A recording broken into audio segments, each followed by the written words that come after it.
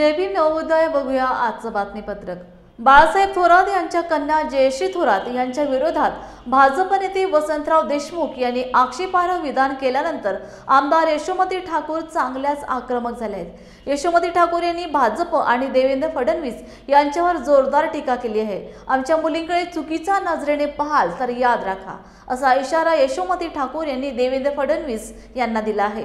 सुजय विखे यांच्यासमोर भाजपच्या स्टेजवर भाजपच्या एका व्यक्तीने बाळासाहेब थोरात यांच्या कन्येबद्दल वादग्रस्त वक्तव्य केले हे विखे आणि फडणवीस यांना पटत आहे याचं आश्चर्य आहे.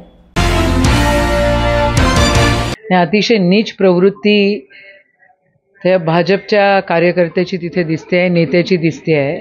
त्या स्टेजवर सुजय विखेसारखा तरुण नेता आहे तिथं बसलेला होता. असं कसं सहन करू शकतो? हे देवेंद्रजींना हे पटतंय काय?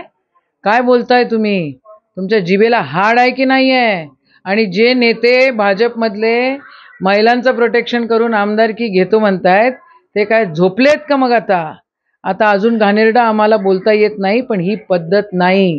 तुमची मानसिकता ह्याच्यातून दिसते आहे आर एस एस आणि भाजपवाल्यांची काय मानसिकता हे दिसते आहे महिलांच्या प्रती. तुम्ही काय म्हणताय की पोरी बाळी घराच्या बाहेर नाही पडू शकत?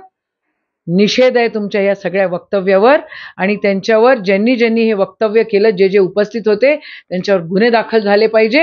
ही मानसिकता आपल्याला संपवायची आहे आणि म्हणून महायुतीला पाडायचं आहे आणि महाविकास आघाडीला निवडून आणायचं अशा पद्धतीनं विखेंना सुचत नाही का?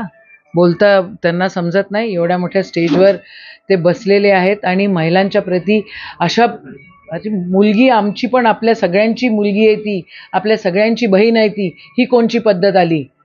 म्हणजे फक्त बाळासाहेबांची मुलगी आहे म्हणून मी नाही म्हणत पण कोणत्याही महिलेबद्दल असं वक्तव्य करत असताना जर नेत्यांना आवडत असेल तर त्या नेत्यांचा पण त्या भाजपवाल्यांचा पण निषेध आहे. आणि त्यांचे नेते आदरणीय देवेंद्रजी काय चाललं आहे देवेंद्रजी? तुमच्या राज्यामध्ये याला रामराज्य म्हणायचं का आपण?